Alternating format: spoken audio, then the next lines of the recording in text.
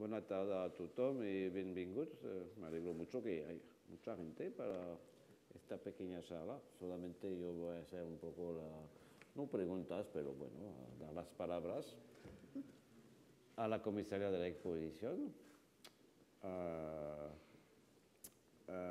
y a nuestra querida también conservadora del Museo Picasso, gran especialista, entre otros, de los grabados.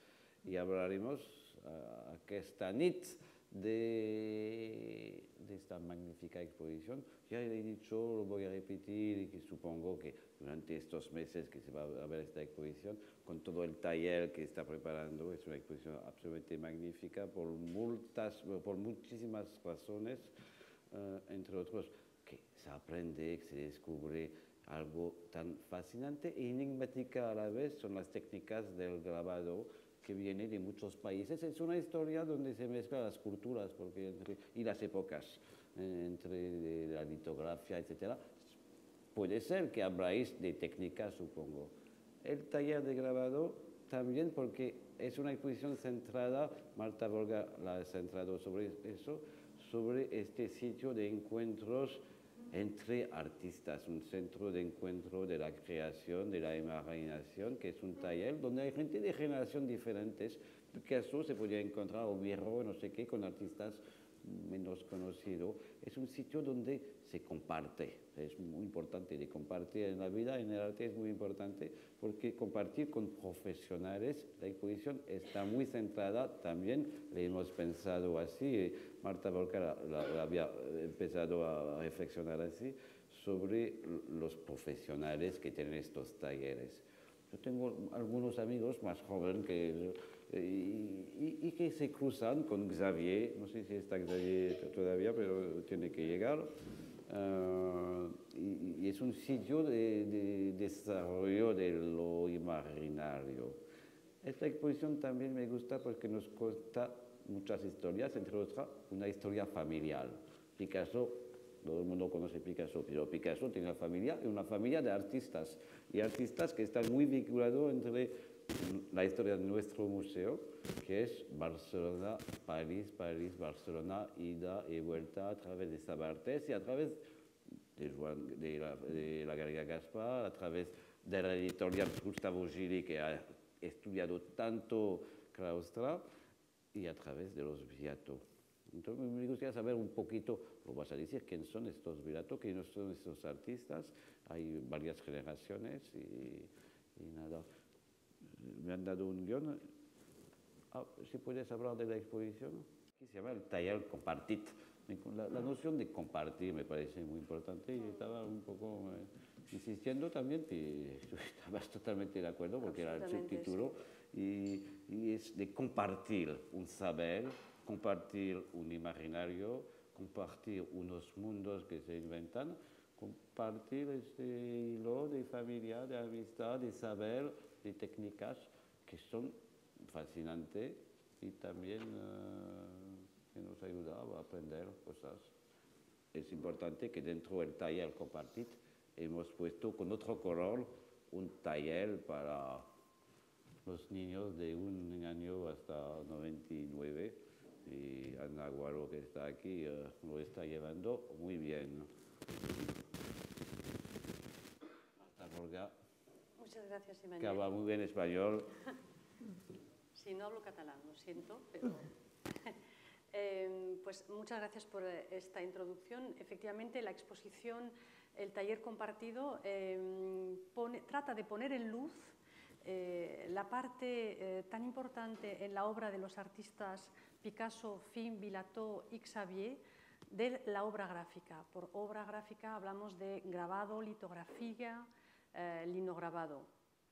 Eh, y esta parte eh, de obra tan importante dentro de su obra general de los cuatro artistas es posible gracias a una colaboración especial que se crea entre el artista y el estampador.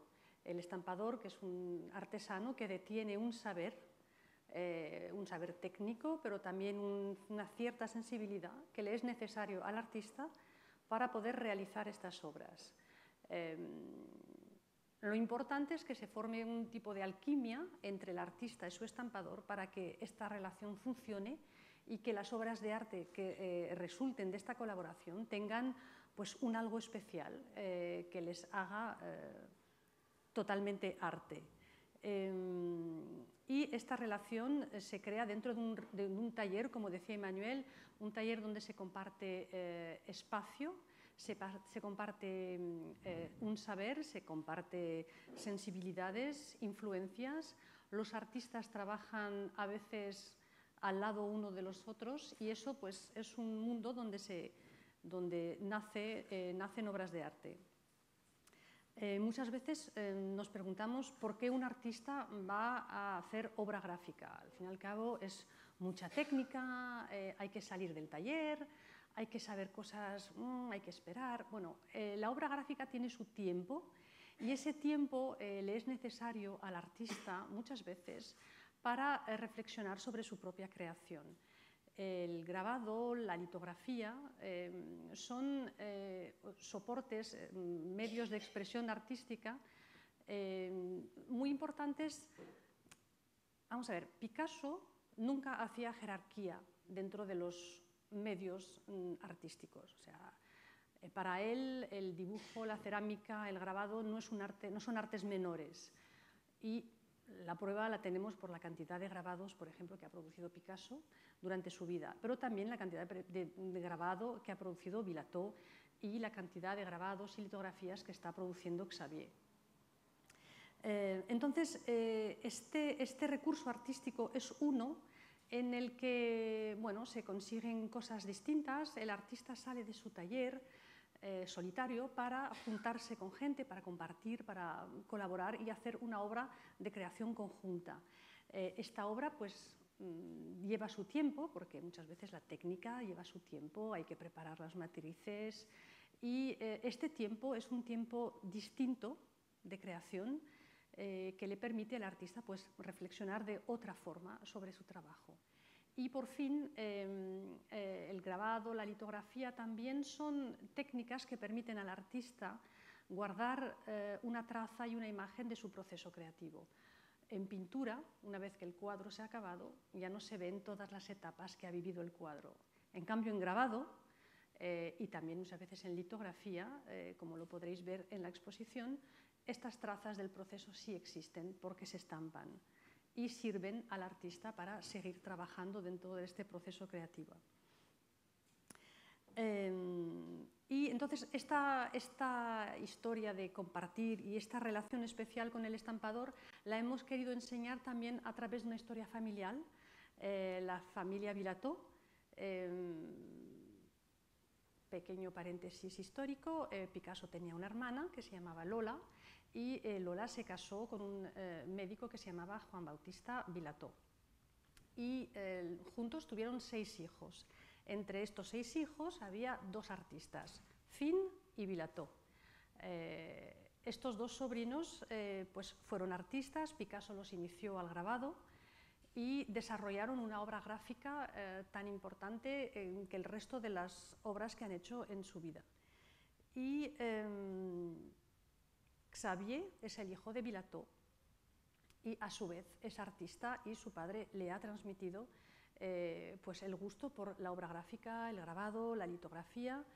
Em, Xavier eh, no es solamente hijo de artista, también es nieto de artista, es eh, sobrino de artista porque tiene fin, fin era em, su tío y era artista, también era de la familia de Michel Léris, Em, eh, y de, claro, eh, nieto de Elie Lascaux, pintor. O sea, em, eh, Xavier nace en una familia de artistas y pues esta herencia también la utiliza pues, para llevar más lejos el gusto por esta colaboración y como se ve en los talleres en los que ha trabajado Xavier, pues él hace un recorrido que lo llama él les déambulations, es decir, un paseo a ver dónde le lleva este paseo entre talleres eh, en búsqueda de, eh, bueno, pues de colaboraciones excepcionales, de, mm, de, unas alquimias que son a la vez especiales y únicas.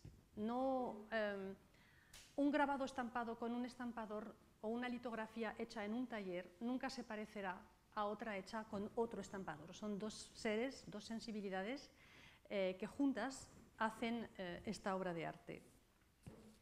Entonces, se puede, eh, se puede distinguir diferencias entre talleres y entre técnicas. Y esto es lo que he intentado enseñar en esta exposición. Ahora te toca. Muy bien, no soy yo que ahora Muchísimas gracias por la exposición y pues, familiares porque es bastante fascinante ver esta familia entre Picasso, Villato, Michel Leris, uh, Elie Lascaux, etc.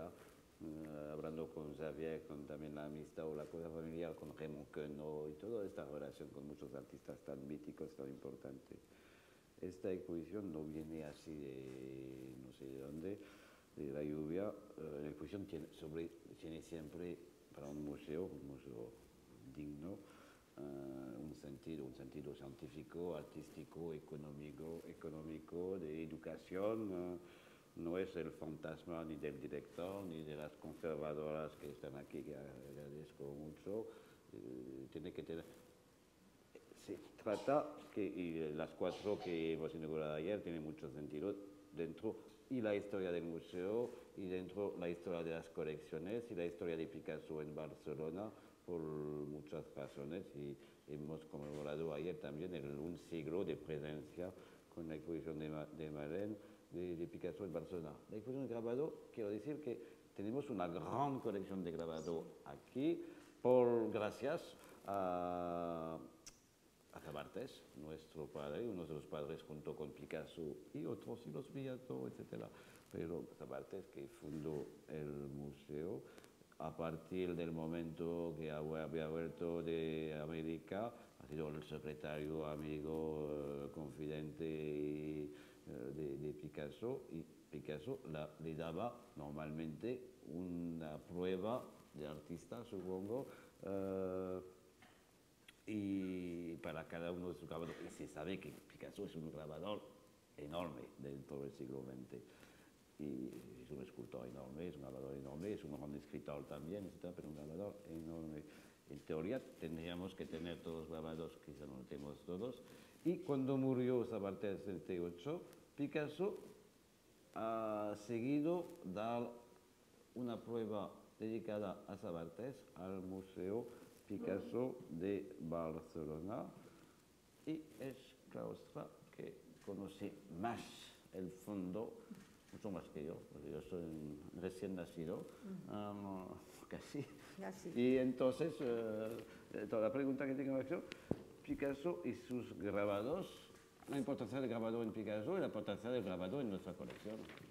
Bueno, yo, si me permites, mm, me gustaría empezar por una frase que, que he leído en el catálogo de la exposición. Hay un artículo de Javier Vilató que dice, ah, para Picasso el grabado es, no, e, um, para Picasso el grabado no es algo que se hace, sino que se vive. Para mí esto es importantísimo, porque realmente con esto yo ya habría terminado, porque aquí define exactamente, es verdad, es que es verdad, define exactamente lo que es Picasso. Picasso no solamente como grabador, sino Picasso también como creador, pintor, dibujante, escultor, ceramista, y en esto me sumo a ti, Marta, en decir que él no era jerárquico en los temas de, de, las técnicas eh, o de los géneros, y, ni en géneros ni en técnicas, no era jerárquico en nada.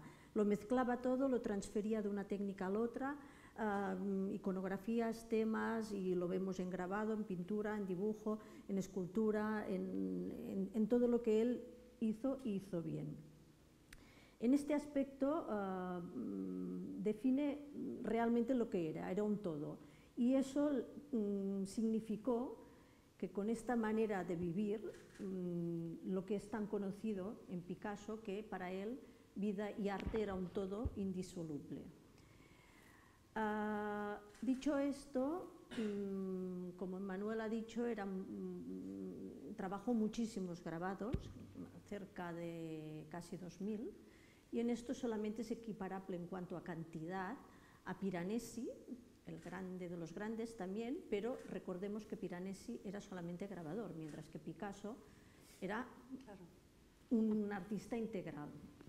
Aparte de esto, mm, tampoco considero que la cantidad sea lo más importante, aunque mm, afortunadamente lo fue, eh, nos dejó mucho y está muy bien porque nos ha dejado verdaderas maravillas, sino también la calidad que esto es lo esencial. ¿no? Y en Picasso, eh, aparte de su potentosa creatividad y su genio creativo, también tenemos que valorar en el Picasso grabador todos los avances que hizo en las técnicas de grabado. Mm, eh, porque esto es alucinante, perdóneme la expresión, porque él en realidad no era un grabador, porque no lo era. Él se hizo a sí mismo y aquí entro en el tema, Ah, se rodeó de los mejores impresores, de los mejores editores y de los mejores, no olvidemos nunca, estos marchantes editores que marcaron la historia del arte a partir de finales del siglo XIX, cuando hubo unos iluminados, entre los cuales estaba el primer grabador de Picasso, Delatre, Eugène Delatre, que impulsaron esta famosa Société des Arts que tuvo un gran, un gran avalador, que fue el gran crítico de arte de la época, de la Gazette des Arts, que era Burti. No olvidemos nunca esto, porque esto es lo que impulsó de manera irreversible el grabado otra vez en el mundo del arte, porque se había quedado como muy atrás, porque claro, la multiplicación, se había devaluado un poco, pero esta gente dijeron, no, no, aquí vamos a apostar por el grabado de artista, por el grabado que tras hacer las copias que sean, el artista lo firma y esto revaloriza muchísimo mm, la estampa en sí. ¿no? Pues esta gente, eh, Picasso la buscó, la buscó y la buscó adrede, yo creo. Eh, él era muy consciente de lo que representaba el grabado, Ah, en este catálogo también hay unos pequeños, ah, digamos, comentarios de Picasso hechos por sus propios impresores. Frelot, el discípulo aventajado de la Courrière, ah, lo dice muy claro. Cuando Picasso se ponía a grabar, decía, ahora viene lo importante.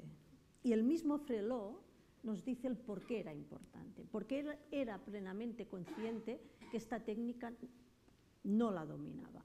Y es que en realidad es muy difícil, es muy difícil. Una cosa es ser un genio creativo, un gran dibujante, porque en el fondo del grabado, como en el fondo de toda la obra de Picasso, hay el dibujo, el duende del dibujo picasiano, que es espectacular, que es genial, pero detrás de esto hay una alquimia, todo un proceso ah, verdaderamente muy complicado.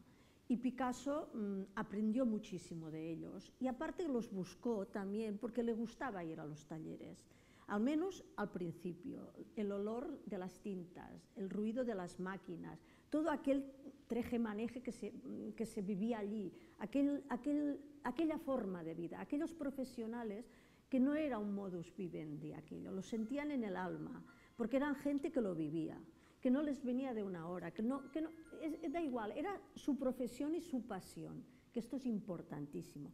Como los marchantes editores grandes de Picasso que fueron Volar y Kahnweiler, eran gente que vivía, vivía de esto, pero era su hobby.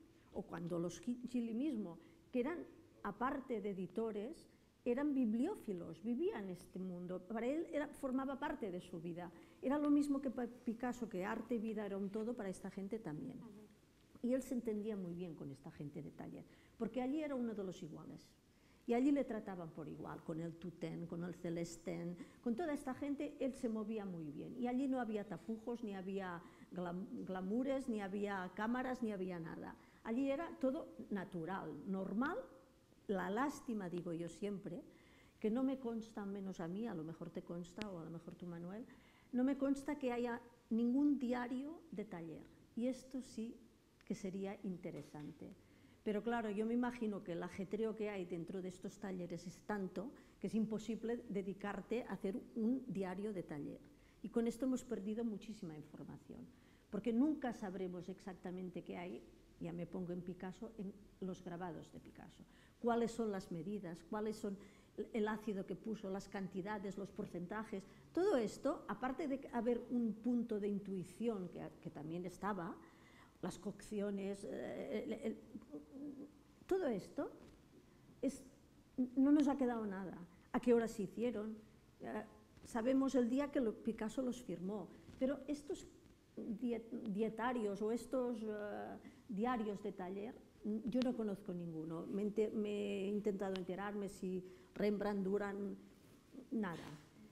Y dicho esto, sitúo Picasso en el mundo de las artes, de la obra gráfica occidental y realmente él es uno de los grandes. Él forma parte de este Olimpo de los dioses junto con Piranesi, Dürer, Rembrandt, Goya, está en la cúspide de todos estos. Alrededor de ellos, en toda la historia del arte occidental, hay grandísimos grabadores, pero genios del grabado, pocos. Y Picasso está aquí. Bien. Muchísimas gracias. Muy bonito de hablar de eso, de estos genios del grabado, del arte en general, del arte de lo eternal dentro lo cotidiano, Veranesi, Dürer, Goya, Rembrandt, has olvidado Miro, pero bueno, puede ser, y Picasso, por supuesto. He hablado antes un poco del taller, que es un sitio un poco secreto para gente profesional del arte, que nos yo, casi yo nunca he entrado en un taller, estos talleres que vais a evocar y que evocan muy bien la, exposición, donde hay generaciones y artistas de varios niveles que se encuentran y que se encuentran amistad, porque practican las mismas técnicas. Has hablado también de la cocina del grabado y sobre todo en Picasso, en todos los artistas que vamos a ver, también se inventa siempre nuevas técnicas. Hay un aspecto dentro de estos viajes múltiples que nos propone la exposición. Es algo que hemos hablado que me había gustado subrayar que está subrayado. Es también unos, no función, pero unas de las, de, los uno de los destinos del grabado también es los encuentros amistosos dentro de un taller, pero los encuentros amistosos, sobre todo en el arte del siglo XX, entre un poeta, un escritor y un artista. Quiero decir, el libro, porque hay muchos libros hechos por Kahnweiler, Ambroise Vollard, GLM o Fab, etcétera, muchos libros que están en vitrinas que hacen que hay muchísimos encuentros. Me voy a perder porque estoy mirando los, deberes que me han dado, que descubro. Eh, ¿Dónde está? Eh, eh, Aquí, herencias. Herencias picasianas en los otros artistas de la exposición, quiero decir, Viato, Finn, Xavier, etc. Por supuesto, hay aire de familia y hay familia, pero cada uno, como todo artista importante, ha inventado, su propio mundo. Hay otras herencias de todo, hay también cosas que alrededor de hay, hay del tiempo, uh, cada artista tiene su mundo, pero ¿cuál es esta herencia picasiana en caso de estos artistas que vamos, habéis descubierto ya desde ayer y espero como es una exposición tan enorme, ¿no? Tan rica, tan rica con 200 obras y libros, etcétera, etcétera. Es una exposición que hay que ver varias veces. Hay que comprar abonos porque está muy bien para la economía del museo. Em, eh, hablando de las herencias picasianas, yo más bien hablaría de entorno familiar. Em, estos tres artistas, Finn, Vilató y Xavier, eh, han crecido en un entorno familiar artístico. Y este entorno eh, familiar artístico es eh, un entorno que les ha nutrido espiritualmente y artísticamente. Entonces, el, el ser artista en esta familia es casi normal. voy a citar una cosa que me dice muchas veces Xavier, que es que en la familia de un panadero es normal ser panadero. Pues en una familia de artista, lo normal que ve un niño cuando crece es artistas, entonces le parece lo más normal del mundo ser artista. Entonces esta familiaridad tranquila en la que eh, se han, eh, han, crecido y se han desarrollado ha permitido pues, una gran libertad artística. Eh, el roce con el arte es constante dentro de esta familia. una de las primeras obras que vemos en la exposición es Le repas frugal, un grabado de la colección del museo, un grabado de 1904, primer grabado así famoso eh, de Picasso, y la prueba que está expuesta, y que es la de la colección, era la prueba que tenían los Vilató en su casa.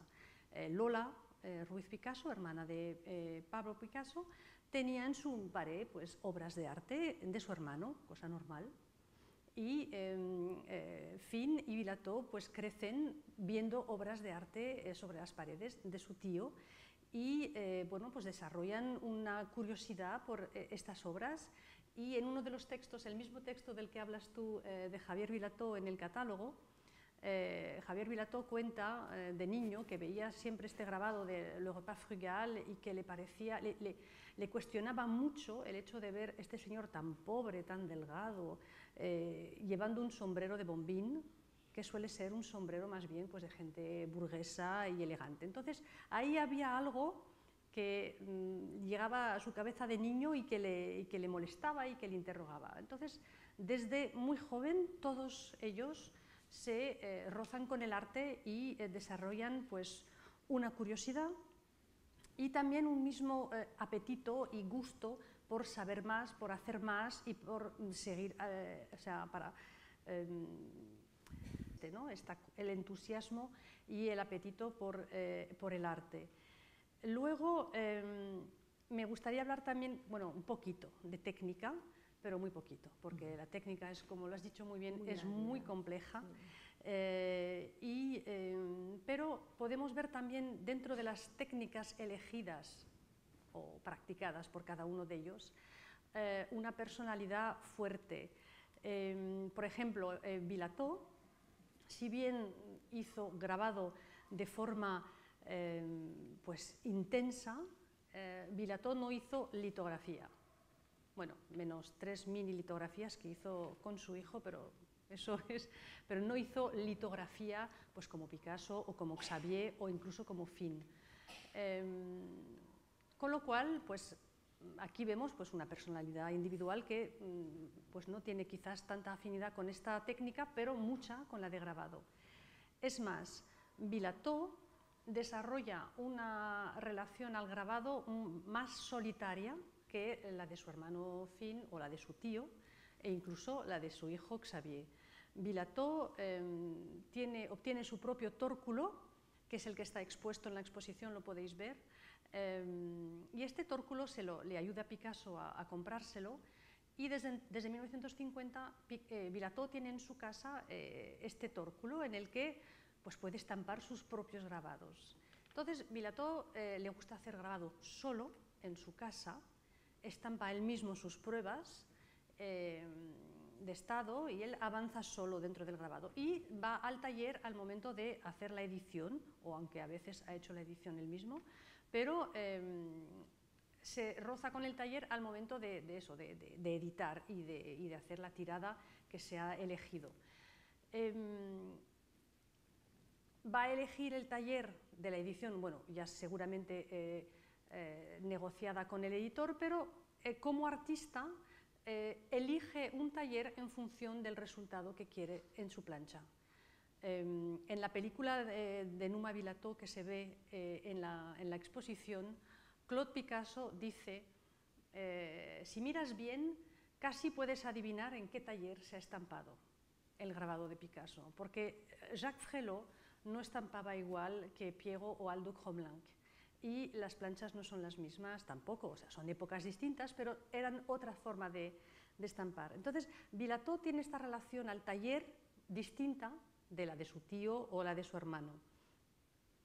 Eh, en el caso de Finn, eh, la técnica eh, es algo apasionado, o sea, eso es mi, forma de verlo, ¿no? pero cuando vemos una plancha de Finn, vemos una cantidad de técnica dentro de esa plancha, pero que te, pones a mirarla de cerca y ves tanta técnica y que ha, vuelto a grabar y ha grabado y ha bruñido y ha raspado y ha vuelto a hacer un baño de ácido y lo ha vuelto a, grabar. Y al final el grabado es como evidente, ¿no? está ahí perfecto, está en su sitio, es fluido, una composición eh, que parece, pues nada, surgida ayer y muchísima em, em, frescura, ¿se dice frescura? Frescura o frescor. Frescor, frescura. O sea, muy fresco. Y, eh, perdón, a veces los matices se me escapan un poquito. Em, entonces, eh, hay como una lucha con el soporte, pero que al final, pues nada, son planchas así totalmente eh, frescas y parecen hechas ayer, ¿no? O sea, eso es muy, muy importante. Em, en el caso de, bueno, una pequeña palabra más sobre Finn, porque eh, Finn falleció eh, bastante joven, con lo cual tenemos mucho menos obra eh, de él que de los demás artistas, pero podemos ver un recorrido por las técnicas del grabado. También hizo linóleo, hizo litografía, hay dos litografías expuestas realizadas en el taller de Fernand Mourlot, y eh, hizo bastantes grabados estampados en el taller La Courrière Frelot. Y por fin eh, Xavier em, tiene también una curiosidad muy fuerte por las técnicas, pero más que nada por inventar técnicas, o sea, inventar. Eh, la técnica del grabado y de la litografía ya en sí son bastante complejas, pero como os decía al principio, Xavier va a, em, pues va a ir a, encontrar, o sea, va a buscar, no me sale la, expresión en castellano, pero me va a salir. ¿Cómo? No, il va a la rencontre. Va al encuentro. Muchas gracias. Va al encuentro de los talleres dentro de los que va a buscar pues, una alquimia distinta y que aún no ha eh, probado. Em, él tiene muchísima fidelidad, o sea, eso puede parecer paradójico, pero no lo es. Tiene muchísima fidelidad hacia los estampadores, también porque les tiene mucho cariño y mucho respeto por su trabajo y a la vez sigue buscando y llevando más lejos siempre la técnica. Em, la última pieza de la exposición es una litografía muy grande en color de Xavier, en la que no sabría yo explicaros realmente detalladamente la técnica, pero en la que utiliza una forma de trabajar que no es propia a la litografía. Eh, para ser básico, en, la obra gráfica es una plancha para un color. Entonces, cuando veis una plancha o una piedra, en el caso de una litografía, cuando veis una, una prueba en color, pues tenéis que imaginar cuántas planchas se han necesitado para hacerla. Existe una técnica en linóleo que se pueden hacer varios colores en una plancha, pero es un, pelín complicado. Y en litografía, pues pasa lo mismo. Bueno, pues en esta litografía todo se, han hecho, todo se ha hecho en una sola piedra. Em, bueno, me, paráis si me equivoco, Tomás y, Xavier, pero eh, la litografía es una, una técnica de estampación en plano que resulta de una reacción química sobre la superficie de una piedra. Eh, son piedras calcáreas, mm, graneadas en plano, y la propiedad natural de esta piedra es de coger eh, lo graso y rechazar eh, el agua, son higrofóbicas. la litografía utiliza esta em, propiedad natural de la piedra para pues, permitir a un artista dibujar libremente sobre esta superficie, fijarlo por un proceso químico y luego estampar esta piedra. Pero claro, una vez que se ha estampado, si queremos quitar el motivo dibujado, hay que volver a granear la piedra y borrarla. En el caso de Xavier, eh, con Thomas Marin, en el taller de Claude Bramsen y Georges en París, han llevado bastante más lejos esta técnica para hacer todos estos colores en una, en una, en una sola piedra. Entonces, para hacer un breve resumen de estas herencias picasianas, más que herencias, yo hablo de entorno familiar, de curiosidad, de pasión y de obra prolífica. en estos tres artistas. Gracias. Gracias, Muy rico tu discurso y se podría hablar de muchas cosas a partir de lo que has dicho. Has hablado de encuentros, he hablado del, taller como sitio de encuentros, he hablado de encuentros, de técnicas, etcétera, etcétera. yo vuelvo también al sentido de las exposiciones.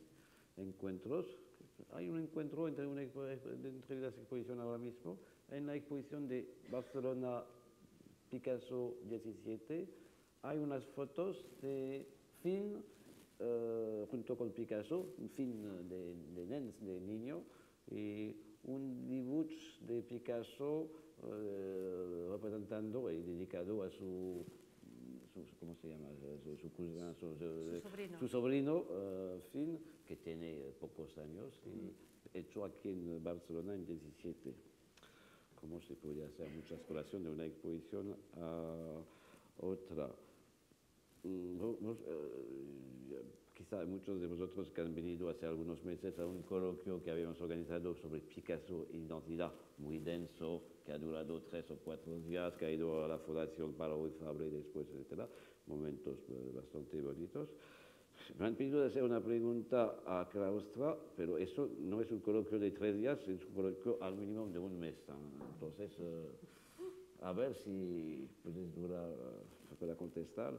Picasso en el mundo del grabado. El mundo de Picasso, los mundos de Picasso dentro del mundo del grabado. Bueno, siguiendo un poco tal vez lo que ella ha dicho de las técnicas, tal vez mm, Picasso se inscribe dentro de las técnicas tradicionales del grabado, ah, que tú has hablado bien, ah, y como tal, ah, pues se rodeó de los grandes impresores de este mundo. Cabe decir que el grabado por excelencia de Picasso es el grabado calcográfico, tanto de incisión directa como, como indirecta, y se mantiene, aunque tiene puntas importantes, como los inicios y, los, los últimos periodos, pues se mantiene como nota sostenida a lo largo de toda su vida. Incluso cuando él se dedica a otras técnicas, como ahora más, más, más adelante, como ahora intentaré relacionar. Por una parte, pues aquí empezó, como he dicho, con Delatre, continuó con Ford, que fue el sucesor, porque el Delatre era el impresor de, los impresionistas y lo sustituyó uh, Ford, Louis Ford, y después ya eh, empezó con Lacourrier, Roger Lacourrier, en Montmartre, allí empezó también a trabajar el Frelot, y al final, en los años 50, pues se quedaron en el taller Madame Lacourrier con Frelot y entonces ya el taller se llamó Lacourrier Frelot hasta que posteriormente Picasso cogió a los hermanos Aldo y Piero Cromelin como uh, impresores calcográficos. Lo que decimos una expresión catalana que podríamos decir que el, el grabado calcográfico es un cap y cua, un inicio y un final en la obra de Picasso y se mantiene, como he dicho, como nota sostenida a lo largo de toda su vida. Después, ah, hacia los años 40, ah, pero ya hizo unos pinitos entre 1921 y 1929, se metió con el tema de la litografía. Y en los años 40 ah, se encontró con el gran litógrafo. Y aquí hay una anécdota así un tanto divertida, que, el, litógrafo por excelencia, el gran litógrafo era Murlot, que aparte de esto cabe decir que también fue quien hizo el catálogo del Picasso, lino, ay, Picasso perdón, uh, litógrafo, el primer catálogo del Picasso litógrafo lo hizo el propio Murlot, con lo cual era impresor y también se convirtió casi en historiador del arte, picasiano, pero la anécdota es, que, bueno, en una conversación entre uh, Cremieux y, y, uh,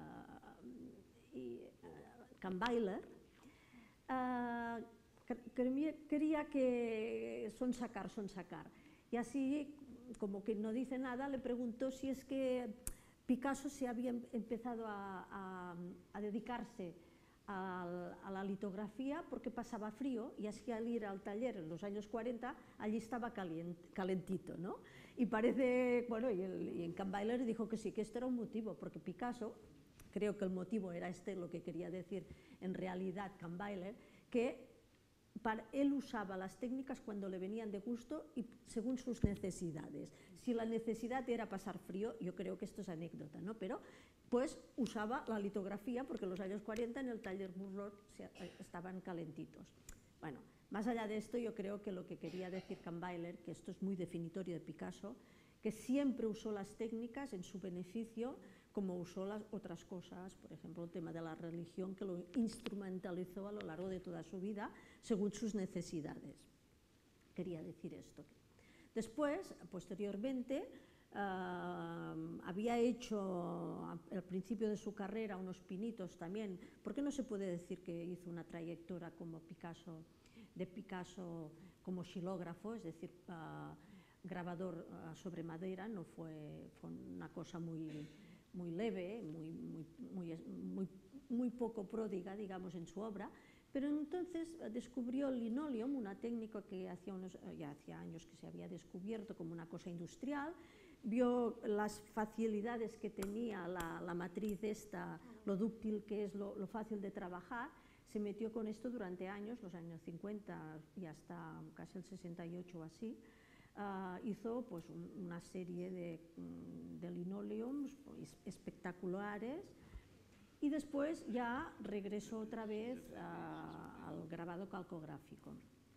Dicho esto, se ha hablado también de series, Uh, la obra de Picasso, la obra gráfica de Picasso se distingue también, una parte se distingue por, por las series, desde los principios, y esto gracias a, a Ambroise Vollard ya se hizo, cogió una serie de grabados y los uh, volvió a editar en el año 1913 y le puso el nombre de la suite de, de los saltimbanquis, en unos cuantos grabados de la época azul y de la época rosa. Después también el perspicaz, avaro y astuto Volar, uh, tuvo un maneje con Picasso económico y al final lo, lo un poco para, que, uh, para seleccionar unos 100 grabados de su obra, calcográficos, y hacer, yo creo que es una de las cumbres del arte del siglo XX, que es la suite Volar, una maravilla, uh, bueno, que no tiene para uh, 100 grabados entre 1930 y 1939 y que llevan el título, el nombre de Suite Volar, dedicados al impulsor, que murió justo antes de la mm, edición de los grabados por accidente. Después, al, al final de su vida, hizo las dos grandes series, que fueron la, ciento, uh, la 347 y la 156, las dos grandes series ya que las hizo con, uh, con los Cromelin, con los hermanos Cromelin, y esto fue el motivo para que los Cromelin se trasladaran cerca de donde, donde él vivía, aquí en la Costa Azul, para ir y venir más, más, uh, más fácilmente del taller a su casa y a la ruta esta, a la ruta del camino este que enlazaba la casa de los impresores con la casa de Picasso, se la, la bautiza le decía la, la rue du cuivre, ¿no? la ruta del cobre, porque cobre para arriba, cobre para abajo, y todo el día estaban yendo y veniendo. Esto es a grandes trazos, digamos, muy esquemático, lo que es las técnicas del grabado de Picasso y los impresores.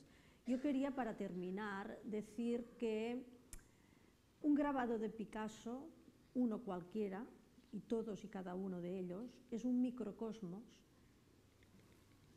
fantástico y que no te lo acabas. Eh, es decir, es historia del arte occidental de todos los tiempos, es literatura, es uh, iconografías recurrentes, es tradiciones populares, porque hay una cosa que es clarísima, que la, obra de Picasso se sustenta en las tradiciones populares desde su infancia más remota toda, toda la época, esto le gustaba, es tauromaquia, es todo. Entonces, cada uno de estos grabados es un microcosmos que te sugiere, te lleva, te arrastra. Y aquí sí que yo pienso que es muy importante, una frase que me impactó mucho de una lectura así de hace muchos años de Faulkner, de este magnífico libro de El, ruido de la furia, que le decía, padre dice, más o menos, ¿eh? viene a decir, que uh, cuando el reloj se para, existe el tiempo. Y en esta sociedad que vivimos nosotras, nosotros, tan banalizada, tan contra el reloj, que no existe ni tiempo para nada, ni para pensar, sí que es bueno que paremos de tanto en cuanto un poco el reloj y hagamos el ejercicio de ir delante de un grabado de Picasso y estemos delante de él sin prisas, porque esto es lo que nos, lo que nos va, es que nos va a transmitir todo un mundo de sensaciones, emociones, vivencias, deleite, que no se paga por nada del mundo. Y lo tenemos tan cerca, tan a mano, y no lo disfrutamos nada porque el tiempo nos arrastra. Y yo en esto sí que pienso que valdría la pena que hiciéramos de tanto en cuanto este tipo de ejercicios. Espero que habéis disfrutado mucho de esos discursos de los, los conferentes, la comisaria de exposición, Claustra, que es nuestra conservadora de grabado. Yo disfruto cada día, entonces, y de Claustra y de, otros, entonces no estoy, estoy acostumbrado. Ah, esta película de, hecho por Numa, que hemos producido, hay trozos que se puede ver dentro de la exposición y vamos a descubrir la película entera o semi entera. no, no, veo a Numa, pero quizá nos puede presentar. Porque yo tengo la luz en uh, los ojos y no puedo. ¿Quieres presentar o tu presenter el, el film? La película las vemos enseguida.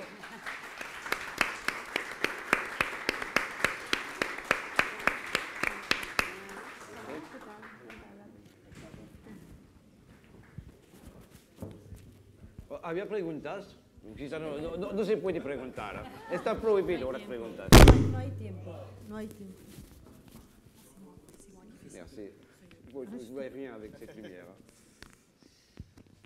Bueno, pues hola a, to hola a todos. Hola a Totom. Eh, bonjour a tous. Um, pues nada, um, muchas gracias por, por todo nos habéis enseñado.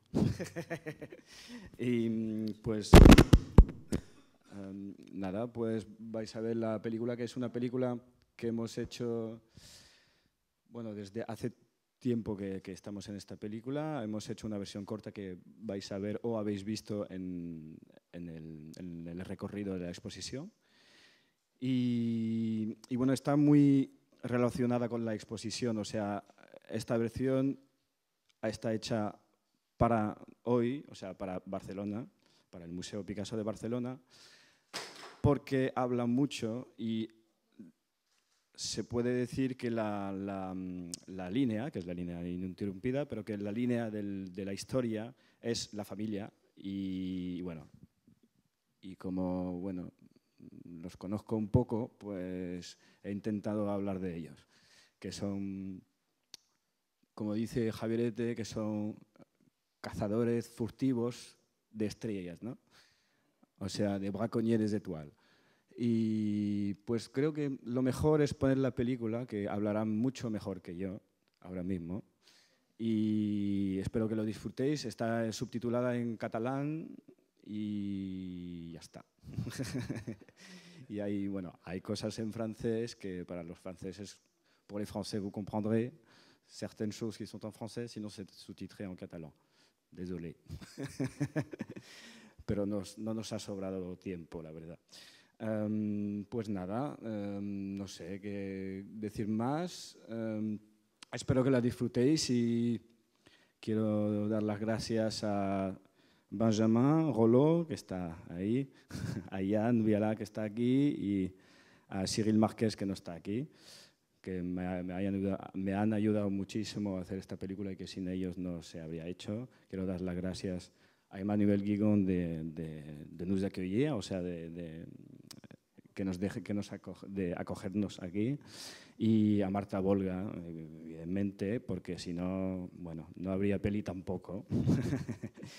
y a todos, la, a, todos que hemos, a toda la gente que hemos entrevistado, si comienzo a decir los nombres, hay muchísimos y ya los veréis en la peli. Muchísimas gracias, que bueno, eh, sin vosotros tampoco no habría película.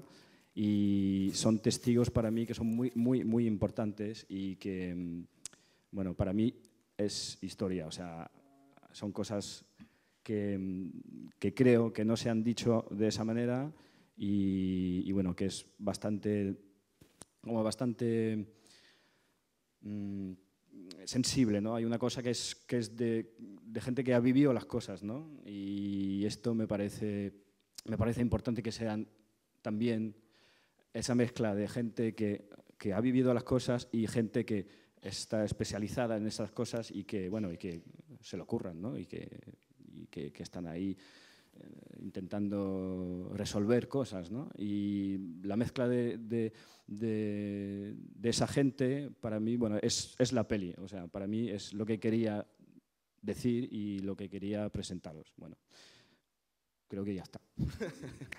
Muchas gracias.